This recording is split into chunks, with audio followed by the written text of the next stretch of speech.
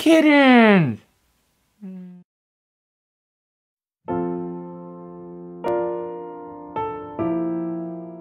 I'll be honest up front.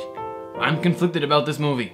A Letter to Momo is a 2011 Japanese animated feature film written and directed by Hiroyuki Okiura. Yeah, he only has one feature film under his director's belt before this called Jin-Roh The Wolf Brigade, which I have not seen, so this is my first impression of his work. And as I said, I was rather confused about it. Well, let's not stall this any longer. This is my review of A Letter to Momo.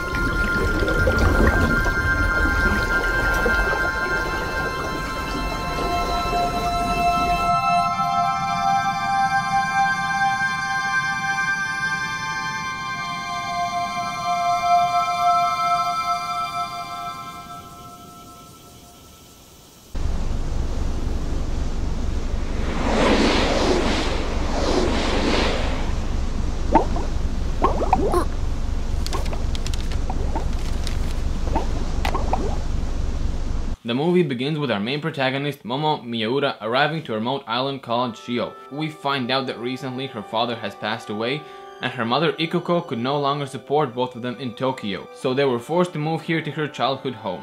Momo views this change rather negatively, and is very pessimistic about this new place, as any kid her age would be. But later we get to know that this is more than just teenage angst. Momo partially blames herself for the death of her father because of the last words she spoke to him. お父さんもういいお父さんなんか大嫌いだ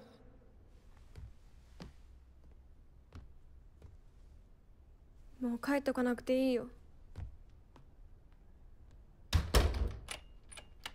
Later, she found a letter her father had started writing to her, but had not finished. This letter contains only two words Dear Momo. なんて書きたかったのお父さん She doesn't start to like the place anymore when certain events lead her to the conclusion that the house where they are staying at is haunted.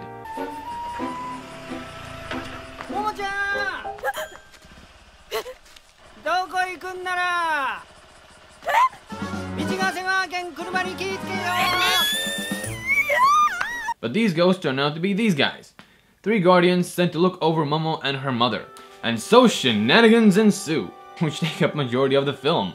This is pretty much Shenanigans the movie. The story was definitely the main issue I had with this film. I'll quickly run over the technical side of the feature, and then I'll attempt to explain my stance.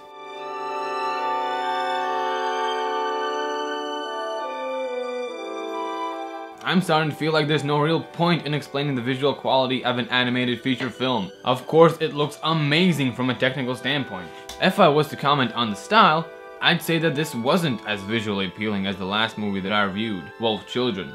It's obvious that Hiroyuki Okiura was going towards a more realistic look with this film. Except for the mother, Momo, and other kids, all the side characters really look Japanese, and all the facial features are very refined when characters make strong expressions. Again, from a technical view, this is impressive, but I didn't really like it. At least in the beginning. Of course you get used to it, and I can only praise the backgrounds. Animation, top notch. I can imagine that animating these more realistic looking characters was a challenge on its own, and they really did not cut any corners with that. The music.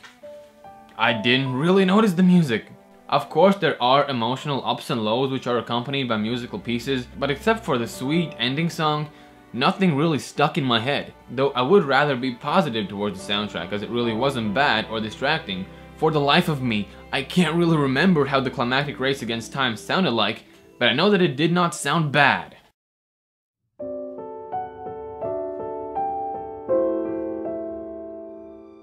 So here's the stuff. For the majority of this film, I could not understand what it was about. In the beginning of the story, Momo is separating herself from the people around her, so I obviously knew it was a coming of age tale, where she would learn to appreciate the change and get over her guilt. But I couldn't really understand how or why any of the events happening will lead us closer to that. I felt like this till about halfway through the film, until some drama is finally introduced, and then the movie became clear to me. The structure of this film is clearly inspired by My Neighbor Totoro. Our main characters arrive to a new location for them, they confront mystical beings and do just stuff with them, with seemingly no significance. Then near the end, there is a tightening in the situation, which is resolved with the help of these beings. But unlike My Neighbor Totoro, A Letter to Momo tries to be a more cohesive story. It's not the wondrous daydream Totoro seems to be. We have characters with clear motivations and personalities, there is an underlining story for why everything is happening, and Momo clearly goes through a character arc. But there was a moment while watching this movie when I caught myself with the thought, this is so Japanese. Well, for one, it made me do this Google search. Don't ask me to elaborate too much on that because I really can't, but I truly feel that there may be a little cultural barrier surrounding this movie. Unlike Wolf's Children, which I can easily recommend to anyone, I may hesitate before suggesting this film to someone, which is a shame because I actually liked it. Sure, for a large chunk of the movie I was lost, but the finale really brought it back, and I couldn't fight off the smile that was on my face when the credits started rolling. This mixture of crazy, silly, realism, and mysticism is a story you really shouldn't miss if you like films like My Neighbor Totoro and Spirited Away, or anything that I've said or showed you here has piqued your interest. And if you do choose to do it, I hope my review somewhat prepared you for it.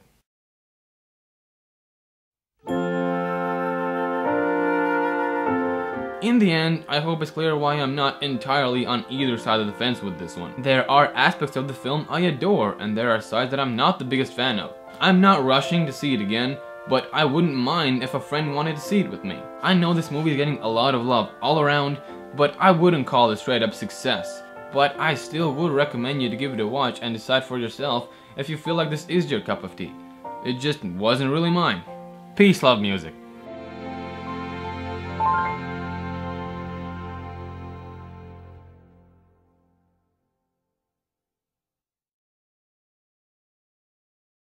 Momo partially blames herself for the Momo partially blames herself for the death Momo partially blames herself for the Momo partially blames her Momo partially bla Momo partially bra Momo partially blames Oh god How do you say it? Momo Momo Momo Momo Momo Momo